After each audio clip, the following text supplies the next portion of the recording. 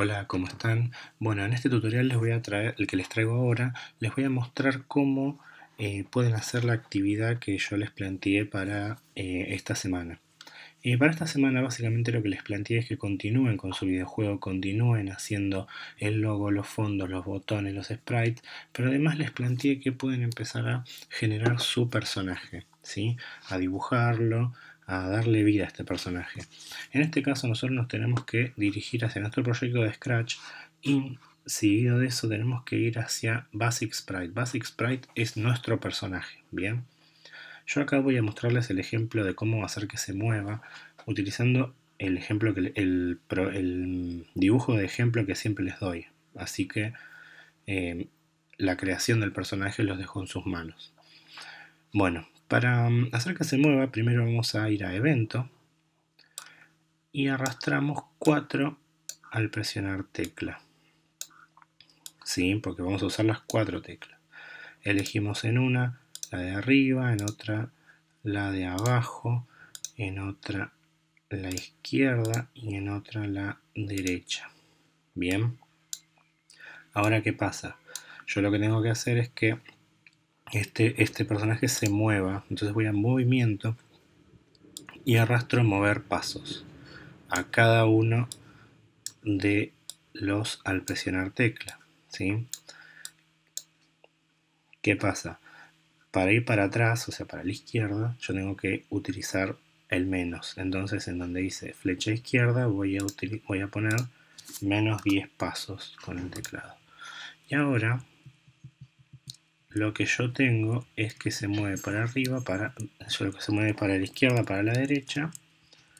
Y cuando aprieto arriba y abajo, se mueve también hacia la derecha. Entonces vamos a corregir esto. Por un lado tenemos que emplear una, una función nueva que se llama apuntar en dirección. Esto lo vamos a poner en todos también. Apuntar en dirección sirve para que el personaje apunte hacia otro lado. ¿Sí? No siempre para adelante, no siempre como está ahora. En este caso, lo que tenemos que hacer es decirle que cuando apretamos la flecha de arriba, ¿a dónde tiene que ir? Hacia arriba. Entonces, 0 sería. Seleccionamos la flecha hacia arriba. Hacia abajo, obviamente tiene que ser hacia abajo, 180. Entonces, de esta forma, yo así tengo a mi personaje moviéndose hacia todos lados. Bien, pero ¿qué pasa? Mi personaje todavía está, no está vivo, es decir, no, tiene movimientos dentro de, de, los desplazamientos. Bien, entonces, ¿qué es lo que tengo que hacer? Yo tengo que generarle los sprites, es decir, yo tengo que generarle los disfraces. Vamos a disfraces. Yo tengo acá que es el, el personaje de reposo, o sea, si está en reposo. Botón derecho sobre el, sobre el primer, sobre la primera fotito duplicar. Acá yo empiezo a generar mis sprites. No sé, yo cuando camina quiero que levante y baje los ojitos. Entonces voy a duplicar varias veces esto. Y ahí voy a hacer mi animación, ¿bien? De esta forma se va a ver de esta manera. Ya tengo dos. Ustedes pueden hacer todos los que quieran. Em, si es un personaje con piernas, puede hacer que mueva las piernas. Em, pueden hacer lo que quieran. Yo lo muestro con este ejemplo porque es lo más simple y lo más rápido. Ahora vuelvo a código y utilizo una función nueva que está en apariencia que se llama fondo siguiente. Perdón, siguiente disfraz. Siguiente disfraz lo, que nos, lo que nos genera es, es que aparece un disfraz después del otro cada vez que yo aprieto una tecla. Entonces voy a agregar esto en cada una de estas fichas. Bien. Entonces una vez que yo muevo al personaje, vamos a ver que los diferentes sprites que yo dibujé aparecen cuando yo aprieto las teclas. Bien, y de esta forma podemos hacer que nuestro personaje quede vivo, que nuestro personaje tenga, eh, tenga vida. Es decir, que, tenga una, pequeña animación. Ustedes pueden hacer la animación que quieran, hagan la cantidad de sprites que quieran. Mientras más sprites, más fluido va a ser el movimiento, como les expliqué en clase. ¿Se acuerdan que yo les mostré un ejemplo de Mario y Mega Man? Mario tiene muy pocos em, sprites, por lo que el movimiento es más pausado y Mega Man tiene un montón de sprites, entonces el movimiento es mucho más fluido. Así que mientras más fotogramas pongan, o sea, mientras más disfraces pongan, más imágenes o más, o más variaciones de esto pongan, el movimiento va a ser mucho más fluido. Eso por un lado. Y por otro, yo lo que necesito es que ustedes empiecen a plantear eh, fondos para sus videojuegos. Es decir, fondos para la parte de menú, para la parte de logo y para la parte del videojuego. Este, ya que si el personaje queda en fondo blanco, parece como que no hicimos nada, como que está a mitad de camino. Entonces, necesitamos ponerle un fondo a este personaje. Entonces, ¿qué vamos a hacer? Vamos a ir acá a la derecha, a escenarios, fondos. Apretamos acá y acá estamos en fondos y nos aparecen todos los fondos que tenemos cargados. Bien, vamos a código. Estos son los códigos de los fondos. Cuando recibimos la instrucción start, es decir, cuando apretamos el botón de empezar juego, ese naranja que siempre ven animado, va a cambiar el fondo a Game Video. Game Video es el fondo del videojuego, bien, el fondo donde va a estar nuestro personaje moviéndose. Entonces acá es donde ustedes tienen que utilizar su imaginación para poder pintar algo que les guste, de alguna manera que les guste. Fíjense que cuando yo pinto sobre Game Video, esto va a cambiar. Ya el personaje se encuentra sobre este, este fondito de, pasto, por ejemplo, ya que es verde. Y algo también que pueden hacer, además de utilizar Game Video, es agregar un fondo ya predeterminado en Scratch. En este caso pueden ir acá, en la parte izquierda, escoger un fondo. Y pueden elegir un fondo que les guste, algo que, tenga que ver con su videojuego. Bien, mira acá en la ciudad, vamos a usar este.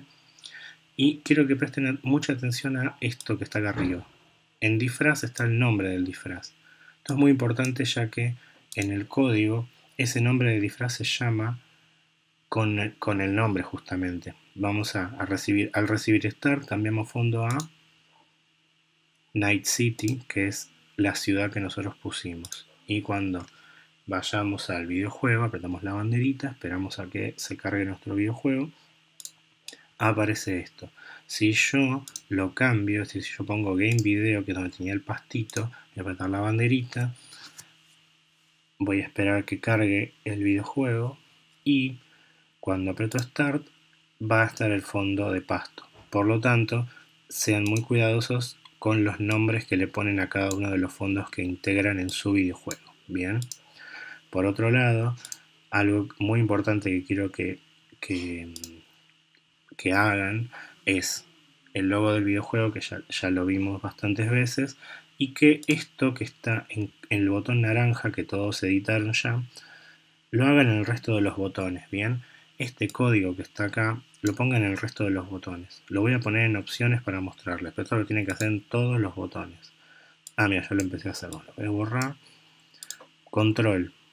Por siempre. Sí. Entonces, si no, vamos a movimiento. No, perdón, vamos a sensores. Tocando el puntero del ratón.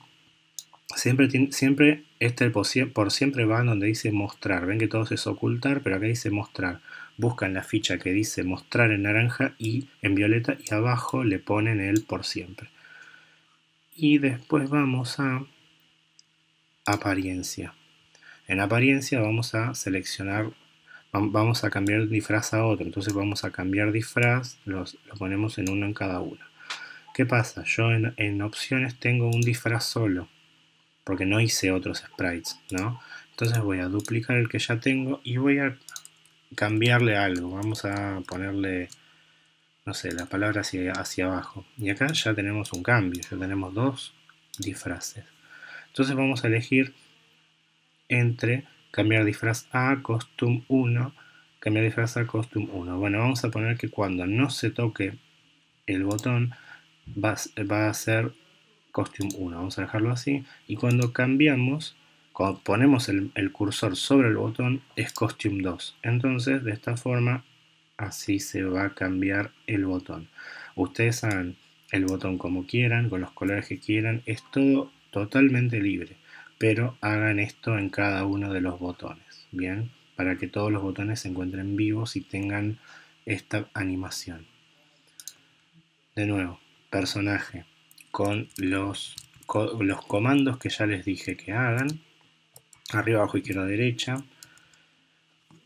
Después logo del videojuego, fondos, hagan un fondo por cada pantalla. Y terminen los botones, pongan cada botón como quieran y agréguenle este código en abajo de donde dice mostrar. Mostrar y modifican cada botón. Bien, modifican, ponen el código que ya les dije en cada botón. Bien, la próxima clase vamos a empezar con em, lo que es el que hacer que el personaje salte, ¿sí? Y vamos a hacer que el, personaje ya pueda em, navegar dentro de nuestro universo, bien, de nuestro videojuego.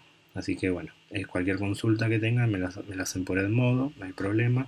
Yo voy a intentar em, contestarles a todos los que pueda y espero que tengan mucha suerte construyendo su videojuego. Muchas gracias.